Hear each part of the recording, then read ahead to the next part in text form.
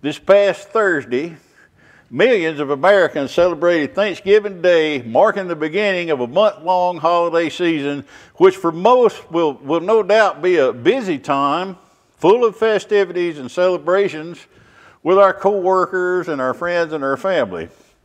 Over the last few days, some, if not most of us, collectively paused over a good meal, taking a moment to inventory the blessings in our lives, doing our best to put the reality of any world, uh, real world challenges that we have right now and our real world circumstances on hold for a few days. Some who live far away from loved ones or, or can't escape an unpleasant reality in their life likely found Thanksgiving Day to be a little bit difficult or disappointing. And then, of course, there's those among us who, who went through the motions of celebrating the holiday this year, bearing an unquenchable longing for someone important in their lives whose time on earth ran out this past year. Nonetheless, with God's help, some from all these groups managed to look at the day with a biblical perspective approaching the misfortunes of the year with a 1 Thessalonians 5:18 mindset that says rejoice always, pray continually, and give thanks in all circumstances for this is God's will for you in Christ Jesus. In my mind, people that are able to live this way are Thanksgiving heroes. Whatever this year's Thanksgiving holiday brought your way, I hope all of you, at least in, in part, uh, had an enjoyable weekend, finding ample reason to thank God for His bountiful spiritual blessings and faithful provision.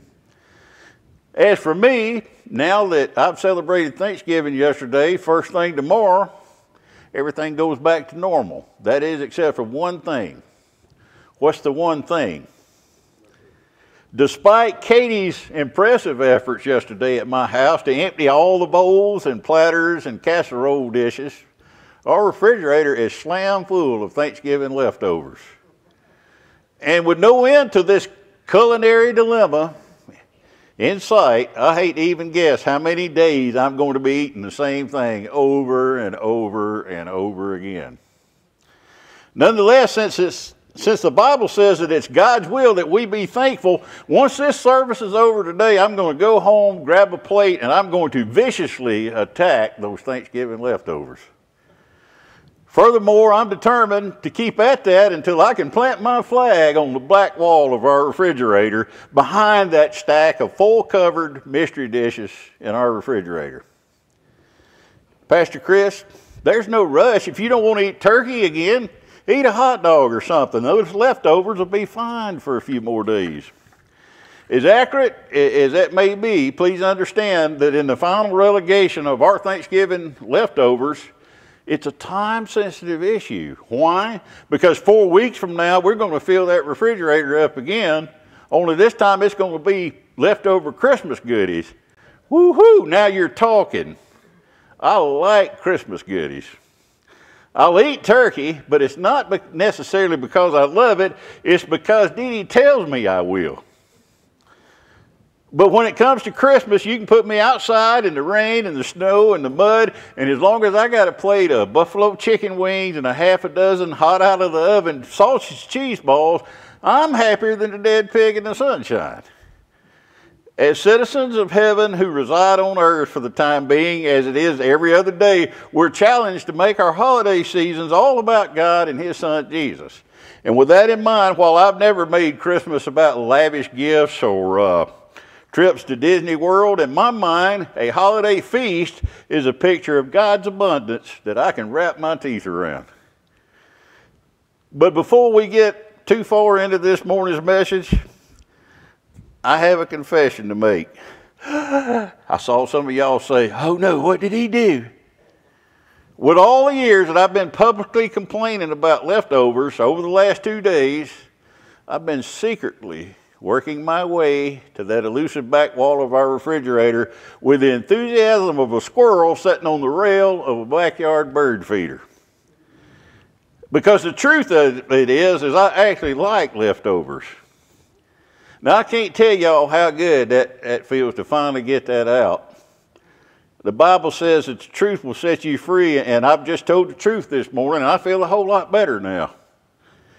While I had initially planned to use this morning's message to transition into the Christmas season, by midday Monday, this past Monday, I knew that the Holy Spirit wasn't quite done with Thanksgiving yet. And with that, he, he soon led me to some scripture in John chapter 6 that concerns a, a familiar story that we all know. Before we read this scripture, I want to point out that the passage just so happens to touch on the subjects of Thanksgiving and leftovers. So, where are we? Jesus had just healed a man who had been lame for 37 years. And when the Jewish leaders found out, they aggressively began to hassle him for working on the Sabbath. So, what did Jesus do? Well, he, he decided to really tick them off by telling them that he was the Son of God.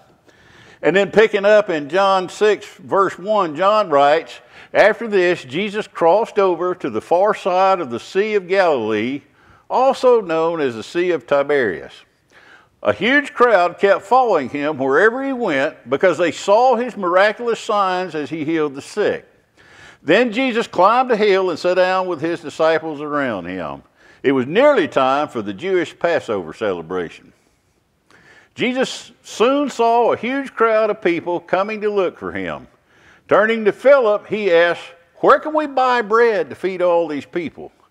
He was testing Philip, for he already knew what he was going to do. Philip replied, Even if we worked for months, we wouldn't have enough money to feed them. Then Andrew, Simon Peter's brother, spoke up. There's a young boy here with five barley loaves and two fish, but what good is that with this huge crowd? Tell everyone to sit down, Jesus said. So they all sat down on the grassy slopes. The men alone numbered about 5,000. Then Jesus took the loaves, gave thanks to God, and distributed them to the people. After, afterward, he did the same with the fish, and they all ate as much as they wanted. After everyone was full, Jesus told his disciples, Now gather the leftovers so that nothing is wasted. So they picked up the pieces and filled 12 baskets with scraps left by the people who had eaten from the five barley loaves. When the people saw him do this miraculous sign, they exclaimed, Surely he is the prophet we have been expecting. When Jesus saw that they were ready to force him to be their king, he slipped away into the hills by himself. Now, you can ask anybody who attended Sunday school or a vacation Bible school when they was a kid, and they can tell you the details of this story because it's widely known and it's a significant miracle. They know that the disciples, uh, that Jesus asked the disciples to feed a large crowd. They know that the disciples said that it, that would be impossible. They know that a boy in the crowd had five hunks of bread and two small fish with him. They know that the boy gave his lunch to Andrew, and Jesus takes his offering, thanks God for it, and miraculously uses it to feed over 5,000 people. If you do an online search using the term the five most amazing miracles of Jesus, you'll usually find the story of the five loaves and two fish somewhere in that top five ranking. Furthermore, if you expand your search to include Old Testament miracles, you'll usually find that this miracle and the miracle of God's provision of manna in the wilderness and Jesus turning water into wine are three supernatural miracles that consistently rank high among believers in popularity. With that, I should point out that all three of these miracles relate to God's provision for human needs. But among all 37 miracles attributed to Jesus across the four Gospels, the feeding of the 5,000 is the one that prevails over all the others in terms of uniqueness. What makes this miracle so unique? First, beside the, the resurrection, it's the only miracle recorded in all four Gospels. Second, while the Bible spotlights that number 5,000 in the original Greek language, we know that 5,000 only refers to the men in the crowd. So the actual number present could have plausibly exceeded three or four times that. In any case, more individuals witnessed this miracle than all the other miracles. Third, the miracle of the loaves and fishes is the only miracle where someone other than Jesus contributed anything to the action he performed. In this case, it was the little boy that brought the lunchbox. It's also the only miracle where Jesus asked the disciples for assistance. He asked Philip, Where can we buy bread to feed all these people? Likewise, it's the only miracle where Jesus asked the disciples to serve him. In, in, other gospel accounts, Jesus says, Bring me the loaves and fish. In John's version, which we're in today, he says, Tell everybody to sit down. Finally, this is the only miracle Jesus performed where the people were ready to proclaim him as their king right then and there. So, this pop up, all you can eat fish special was a pretty big deal. Again, all of us know this story well, and, and that may be one of the reasons that it usually ranks among the popular miracles in the Bible. That said, when we encounter a well known Bible story like this one, you know, we might be tempted to skip over it and move on to other scripture we perceive to be more challenging. So, as the Holy Spirit drew me towards this passage this week, I realized a need for us to exercise caution, making sure that we don't ever let our perceived expertise cause us to miss out on the full richness of a biblical account like this and the other underlying lessons we can learn if we take the time to dig beneath the surface. I'm going to give you an example of what I'm talking about. So, yes, this scripture is about an amazing miracle. He took a little bit of food and fed all these people. Jesus took what the disciples saw as nothing and made something big out of it. But what else can we learn through this story? To find out, I, I, want to go back to verses 5 through 7 and read those two verses again. It says, Jesus soon saw a huge crowd of people coming to look for him. Turning to Philip, he asked, where can we buy bread to feed all these people? He was testing Philip, for he already knew what he was going to do. Philip replied, Even if we worked for months, we wouldn't have enough money to feed all these people. And then in, in, verses 8 and 9, Scripture goes on to say, Then Andrew, Simon Peter's brother, spoke up. There's a young boy here with, with five barley loaves and two fish, but what good is that with a huge crowd? So Andrew had gone out to pass the hat, and when he came back, all he had managed to collect was the contents of a sack lunch that somebody's mama made. What good is that? I'm going to ask you, who do these two morons sound like? Well, I think they kind of sound like me. Because, like Philip Andrew, I, am a numbers guy, and, and as I analyze any challenges that come my way, I consistently look at the logistics and available resources, and I often find that the math associated with whatever it is just don't add up. Yet I obviously haven't missed any meals or ever experienced long-term absences of other needs or even wants in my life, having learned over time that the Lord provides all we need in His time and according to His will. And in essence, that's the same miracle that the disciples saw that day. That day, a, a, pressing need greatly exceeded the available resources, and after doing everything humanly possible to try to fill that need, the disciples failed to complete their assignment. Yet somehow Jesus made it happen. How did he make it happen? Well, you know, supernaturally, of course, but what I want you to see is the action Jesus took and the results of his action. First, in verse 10, he says, Tell everyone to sit down, Jesus said. So they all sat down on the grassy slopes. Then Jesus took the loaves, gave thanks to God, and distributed them to the people. And afterward, he did the same with the fish. And what was the result of that? So let's skip down to verses 12 and 13 and read those again. It says, After everyone was full, Jesus told the disciples, Now gather the leftovers so that nothing is wasted. So they picked up the pieces and filled 12 baskets with scraps left by the people who had eaten from the five barley loaves. That's a biblical account of some Thanksgiving leftovers. The point I'm trying to make here is that Jesus took what little he had to work with, and before he did anything else, he gave thanks for it. And when he did, God responded, and he did so in great abundance. A few weeks ago, we looked at some words that Jesus spoke found in John 10 10, and uh, this morning I'm going to use the amplified version of that. Jesus says, The thief comes only in order to steal and kill and destroy. I came that they may have and enjoy life and have it in abundance to the full till it overflows.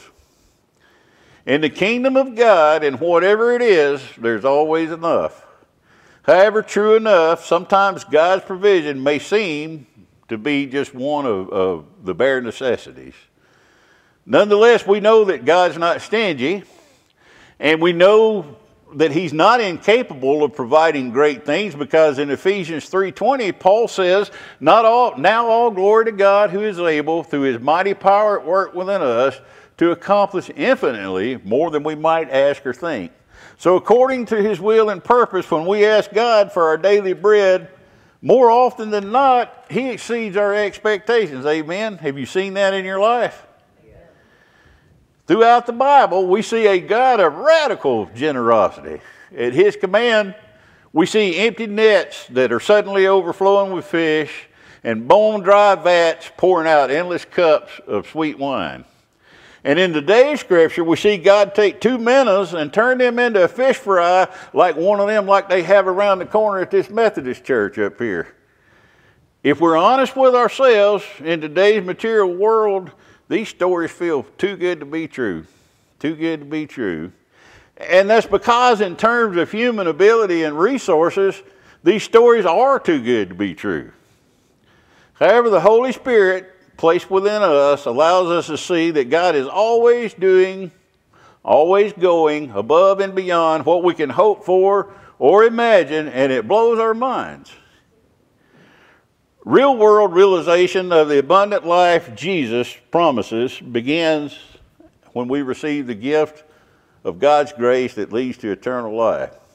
Then, as we continue to receive this lifelong supply of God's grace through faith in the redeeming work of the cross, the ever transforming change brought about in our lives can be likened to a seed that begins to grow as it's watered by our relationship with God through Jesus Christ.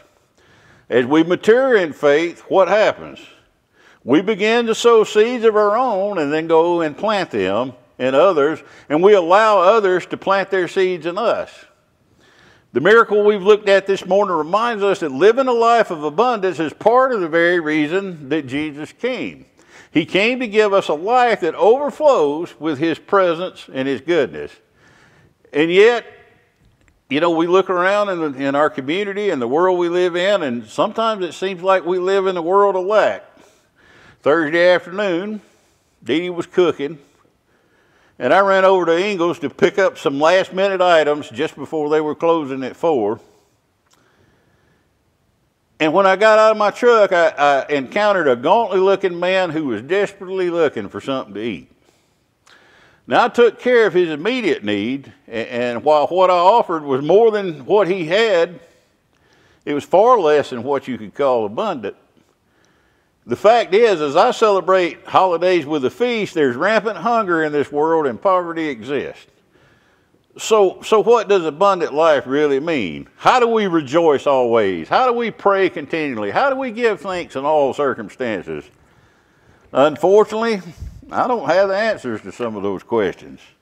But with that said, what I really want you to see is that there's a clear biblical connection between abundance and thanksgiving, and it's not what we think it might be. Now, most of us closed up shop this past Thursday to spend the day, again, taking that inventory of blessings over the last 12 months, and then we offered God our thanksgiving for the things we identified as blessings. In practice, there's nothing wrong with that, and that's what our forefathers had in mind when they instituted the holiday. But quite often, we, we treat tangible blessings and abundance as a key that unlocks the door of our hearts and opens them to a willingness to give God thanks for the perceived blessings in our lives. In other words, we look for the good things in our lives, and then when we find them, we enthusiastically say, Wow, I'm so blessed. Thank you, God. But the bad things, not so much. So we must understand that in the truth of God's Word, it's the other way around. It's our gratitude to God that unlocks the abundant life that He wants us to have. Now, y'all just bear with me while I make the case.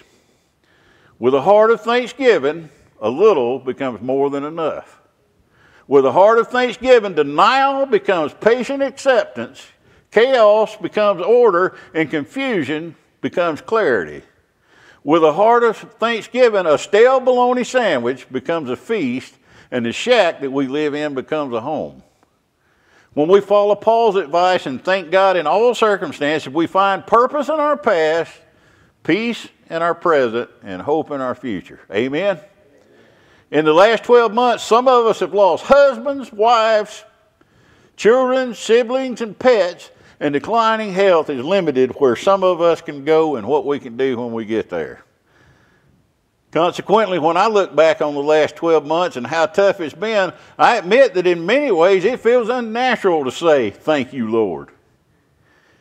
Yes, God has given us His gift of grace through Jesus, but considering what's transpired within this body in the last year, it seems much easier for us to feel discouraged and even ungrateful. So, what do we do? Again, I love you guys, and I badly wish I could answer all those questions for you. But there's days when I struggle to find and maintain a heart of thanksgiving myself. However, what I can do this morning is show you four things I found in Jesus' miraculous feeding of the 5,000 this past week that offer us good reasons to give God our thanks even when we don't feel like it. First, the miracle of the 5,000 shows us that Jesus always operates with compassion. He performed a spectacular miracle on the heels of facing great grief himself over the loss of his beloved cousin and friend John the Baptist, who had just been executed at the order of King Herod. Yet, just before performing this miracle, Matthew's version of this event tells us that Jesus saw the huge crowd as he stepped from the boat and he had compassion on them and healed their sick. Despite personal grief, Jesus knew that his time on earth was short, so he pressed on to do all that God had called him to do, and he's still working like that in our lives today. He understands the kind of pain and struggles that we're facing right now, and he's never too busy or too distant to care. He knows the grief that Miss Wanda and Miss Mary and Miss Dee Dee feel today because he's experienced it himself. And yet, what does the Word of God say? It says, The Lord is close to the brokenhearted. He rescues those whose spirits are crushed. That's amazing. So I encourage you to give God thanks today in whatever your circumstance is.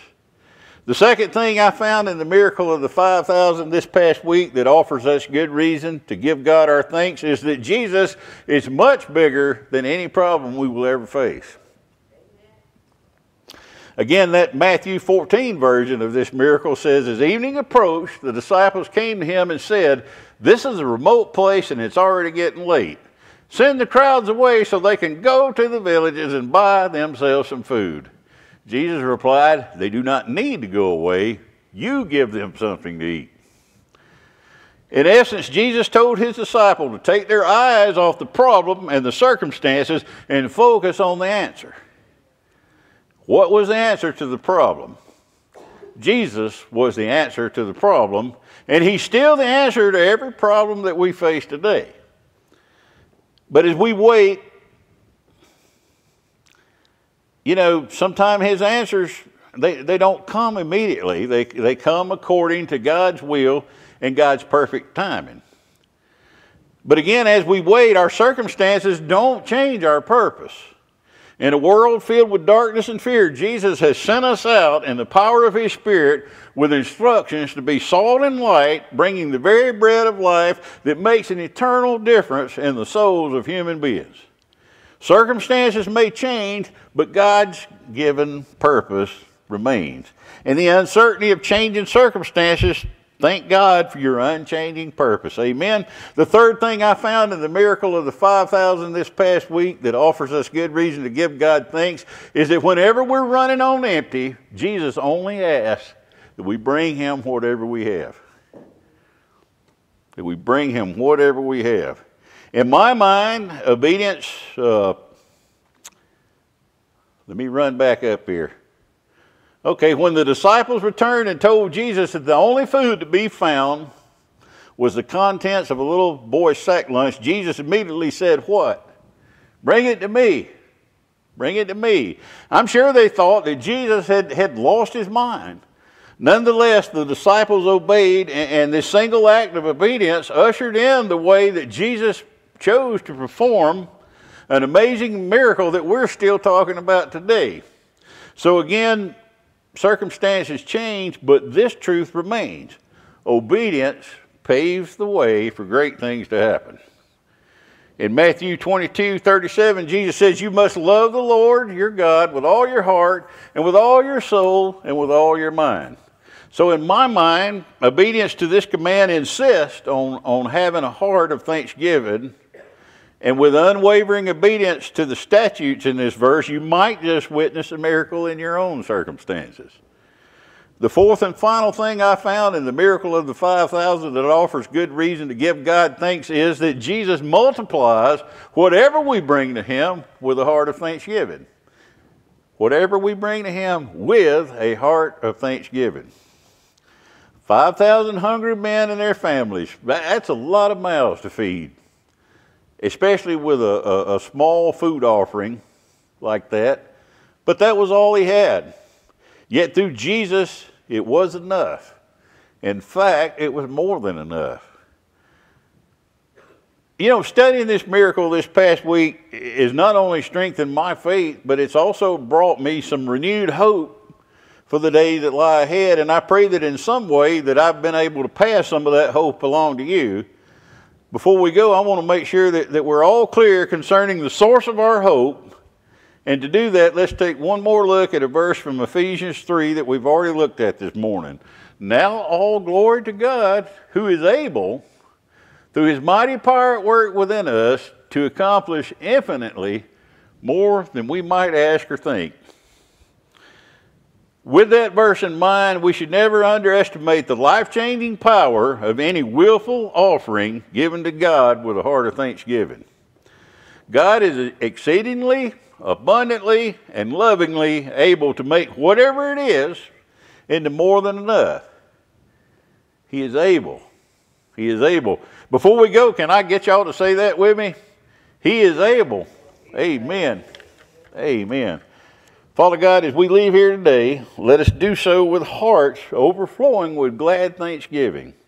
I left every person present, every person you have placed in my care and every person watching online asking that no matter where we are in life at this moment, that you take our brokenness, our grief, our pain, our loss, our doubt, our short supply, and our inadequacies, and breathe your blessing and favor over us. May you take all that we willingly offer you with hearts of thanksgiving and multiply it to your glory. Amen. Y'all remember to connect, equip, serve and encourage one another, and we'll see y'all next week.